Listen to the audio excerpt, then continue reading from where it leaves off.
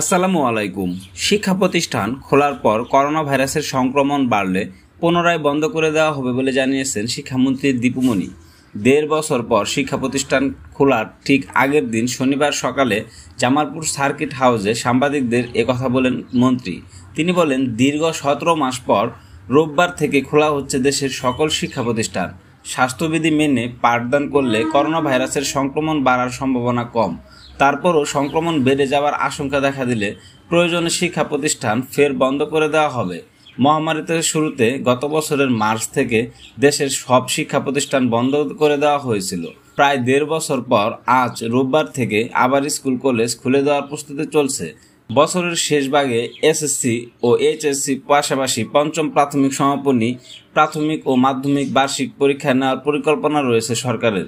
মন্ত্রী আরও বলেন, দীর্ঘদিন শ্রেণীকক্ষে পাঠদান বন্ধ থাকলেও পড়াশোনা বন্ধ ছিল না। টেলিভিশন ও অনলাইনের মাধ্যমে পড়াশোনা চালানো হয়েছে। কোনো শিক্ষার্থী বা তার পরিবার কেউ করোনা ভাইরাসে আক্রান্ত হলে বা উপসর্গ থাকলে তাদের বিদ্যালয়ে না পাঠানোর অনুরোধও জানান তিনি। পরে শিক্ষামন্ত্রী দীপুমণি জামালপুর পৌর আওয়ামী লীগের ত্রিবার্ষিক সম্মেলনে যোগদান করেন। এ সময় তথ্য প্রতিমন্ত্রী ডক্টর মুরাদ হাসান, ধর্ম প্রতিমন্ত্রী ফরিদ হক খান, বাংলাদেশ আওয়ামী লীগের প্রেসিডিয়াম সদস্য মতিয়া চৌধুরী, এমপি ও সাংগঠনিক সম্পাদক মির্জা আজম এমপি সহ অন্যান্যরা উপস্থিত ছিলেন। এই ছিল সর্বশেষ খবর। প্রতিনিয়ত আপডেট খবর পেতে অবশ্যই চ্যানেলটি সাবস্ক্রাইব করে রাখবেন। ধন্যবাদ।